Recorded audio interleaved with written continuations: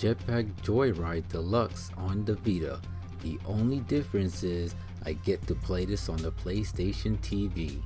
But anyways, it's basically the same thing as the PS3 version. If you want to know more, then check out my PS3 video for it, and it'll be on the description. If not, then Germaphobe, Strong Arm Tactics, and Romeo Alpha Delta is all that matters in spending 50 days playing the game in a row. Is it hard? 2 out of 10. Is it fun? RNG out of 10.